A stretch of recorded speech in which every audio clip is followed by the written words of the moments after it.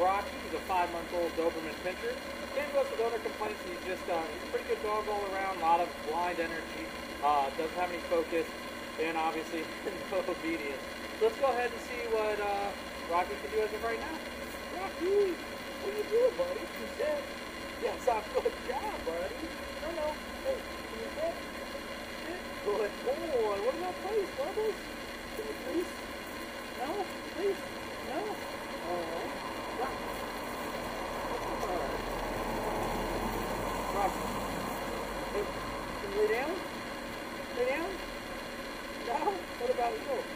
You walk? Yeah. Buddy.